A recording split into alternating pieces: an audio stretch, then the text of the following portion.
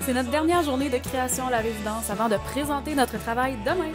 Là, je vous ai pas montré, mais hier, j'ai traduit ma chanson slow en anglais avec l'aide de tâches. Faut vraiment que je travaille mes compétences en anglais, là, mais ça s'en vient.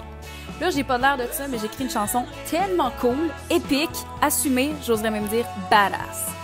Plus tard en journée, j'enregistre la voix de ma chanson en anglais et c'est tout pour moi. On soupe en gang, puis après ça, je débranche mon cerveau et je prends ce chill en regardant Netflix. Faut que je me repose parce que demain, c'est une grande journée.